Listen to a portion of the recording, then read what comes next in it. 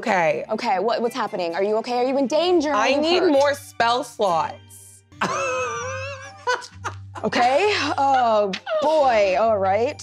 I can do like two cool things and then I have to go to bed. Right, right. Um, no, I can't fix that exactly. Why not? No, no, no. But I can. I can give you other things that you can like switch out.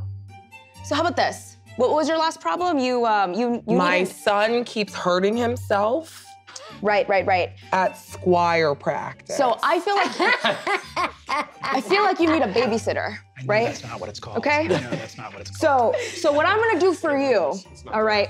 I need you to get a couple items. Can you do that? Are you sending me on a fetch quest? Is Binks a warlock patron? Yes. Oh my